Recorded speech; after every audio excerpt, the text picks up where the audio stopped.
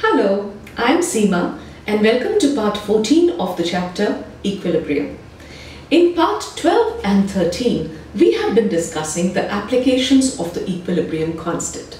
In part 12, I told you how we can use the equilibrium constant to predict the extent of a reaction. And in part 13, I told you how you can use equilibrium constant to predict the direction of a reaction if it is not at equilibrium at a certain instant. And you know the concentrations of the reactants and products in that moment. The third application of equilibrium constant is that it helps you to calculate the concentrations at equilibrium, the concentrations of the products or the reactants at equilibrium. You know, we have actually done these numerical problems in the previous parts and I would encourage you to watch the previous parts to uh, just have a hang or have an idea of what I'm going to explain right now. But in this video, it's actually just a compilation or a revision of what we have done in previous parts while solving a few numerical problems. Yet, let us categorize the five steps and understand how we arrive at equilibrium concentrations just by knowing the equilibrium constant. What do we do for this? It is like solving a numerical problem or a mathematical problem. We first write down a balanced chemical equation. The first step is that you write down the balanced chemical equation with proper stoichiometric coefficients under the conditions. Then you make a table of concentrations under the equation. And when you make a table of concentrations, now I've taken an example here, a question which is question 7.9 of your textbook. It is the solved example. And according to this, I've written the equation. I'll come to the problem just now, but let me just tell you the steps first. So after writing down the concentrations of the different, the reactants and the products under the equation, then we, what are the concentrations that we want to write? We want to write the initial concentrations, that what did we start with? Did we start with the concentration of the uh, reactant or did we start with the concentrations of the products? So what were the initial concentrations? We first write that. Then the second step is we again see what is the change in concentration going to be when the reaction comes to equilibrium. And the third concentration that we write is the equilibrium concentrations. To explain this, we'll be taking this example and you'll understand it better. Now, for example, if you have whatever is the concentration A of a reactant, and we assume that uh, if A moles per liter was the concentration, and out of it X moles per liter dissociated, if we are talking of the reactant, to form, to or reacted to give us the products, then what would the concentration of the reactant be at the equilibrium? If the initial concentration when you started, it was A, and X amount of it reacted to acquire equilibrium, then at equilibrium, what is the amount of PCl5 left? It will be A minus X, right? So using a variable like X, we determine, we assume that one of the reactants, X moles of it or moles per liter of it is dissociating or is reacting. And assuming that X and using the stoichiometry of the reaction, we then start placing and calculating the concentrations of the other reactants and products. So we use X as the concentration of one of the substances that reacts ongoing to equilibrium and then we use the stoichiometry to calculate the others with respect to that amount X. Now, let me just explain this. Look at this reaction. You have 1 mole of PCl5 which reacts to give you 1 mole of PCl3 and 1 mole of chlorine. So if X moles of PCl5 reacted, then how many moles of PCl3 and Cl2 will be formed? If 1 gave us 1 and 1, then X moles will give us X and X. So using that value X, you will say that at equilibrium, the concentrations of PCl3 and Cl2 would be X. So that is how we relate it to the stoichiometry and in terms of X, we talk of the concentrations of all the reactants and products. Then the third step is that we substitute the equilibrium concentrations in the equation for the reaction to solve the value for X. This I'll do just when I solve this problem. You might get a quadratic equation and if you get a quadratic equation, we use the formula for the quadratic equation to get the value of x. Once we arrive at the value of x, we substitute that value of x and we get all the equilibrium concentrations. And that is the fourth step.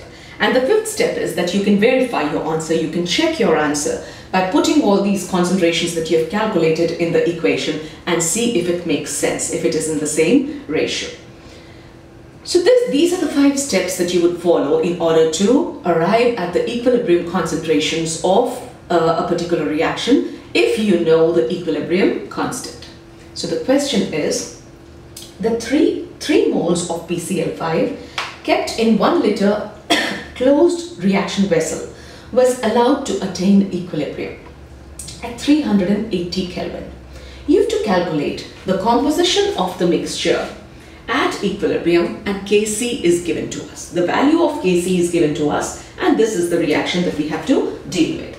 The reaction is PCl5 gives you PCl3 plus Cl2. So what is the first step? Write balanced equation. We've done that. Second step is we make a table of concentrations under it.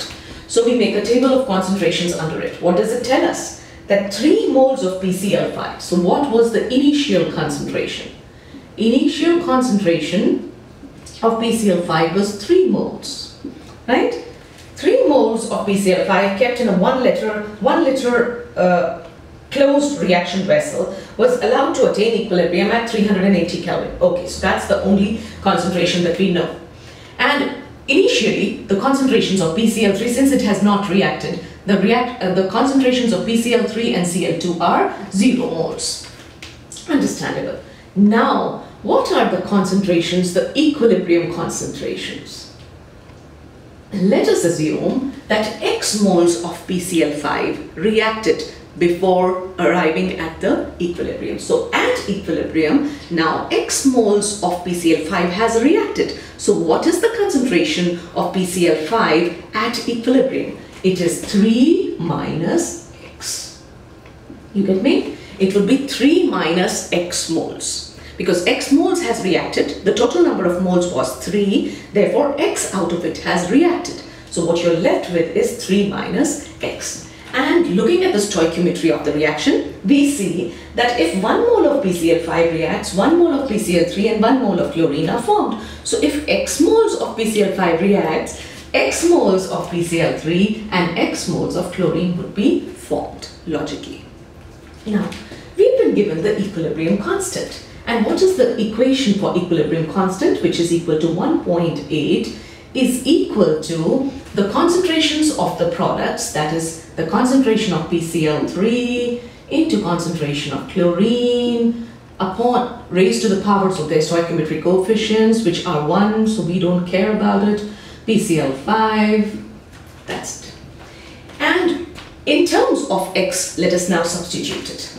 So 1.8, that is Kc, which is equal to 1.8, would become equal to, put the value of PCl3 is x, value of Cl2 is x, and the value of PCl5 is 3 minus x. Or you could say it is x squared, the x into x can be written as x squared upon 3 minus x, right? So let us solve this, is equal to 1.8. Now if we solve this, we get that 1.8 into 3 minus x is equal to x squared, right? So 1.8 into 3 is 5.4 minus 1.8x would be equal to x squared. Now we'll bring this also to this side or take these that side and we get x squared. We are bringing all of them to one side. My plus 1.8x minus 5.4 is equal to 0. Now do you see? You've got an equation of the type ax squared plus bx plus c is equal to uh, 0. It's a quadratic equation that you obtain. And whenever you get an equation which is of this kind, that is like a quadratic equation, that is ax squared plus bx plus c is equal to 0, how do you solve it for the value of x?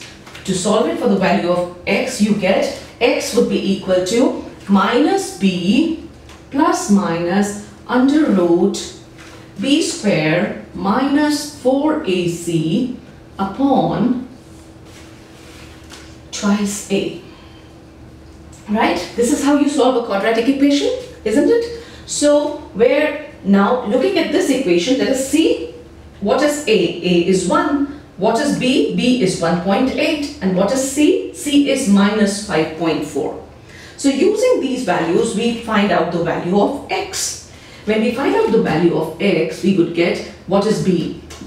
Minus 1.8 minus of B, B is plus 1.8. So it will be minus plus minus under root B is again 1.8 square minus 4 into A is 1 and C is 5.4 minus 5.4 right and the square root of this upon twice of A and A is 1 so it will be upon 2 when you solve this quadratic equation you get the value of x and that value comes out to be equal to 1.59 when you solve this equation you will get the value of x and the value of x would be equal to 1.59. Now, what did we do? We solved for x, the third step. We substituted the concentrations in the quadratic equation, we obtained it, we solved it and we got the value of x. Now, what does this value of x mean? What is x? x was the concentration of PCl3, it was the concentration of Cl2. So at equilibrium, our aim was to find out the equilibrium concentrations or the composition of the mixture at equilibrium. So what would the different concentrations be? The concentration of PCl3 and PCl, uh, sorry, and chlorine is equal to X, which means it is equal to 1.59 moles per liter. Molar solution because it was a 1 liter vessel. And um, what is the concentration of PCl5? PCl5 was 3 minus X which is equal to 3 minus 1.59 molar solution and this will come out to be equal to 1.41 moles or molar solution. So this is how using equilibrium constant we can arrive at the concentrations, the equilibrium concentrations of the components of the reaction mixture. So this was the third application of equilibrium constant. With this, I end this video. If you found it helpful, please give it a thumbs up, subscribe to my channel, recommend it to your friends, and please keep returning for more videos in chemistry. Thank you for watching and bye-bye for now.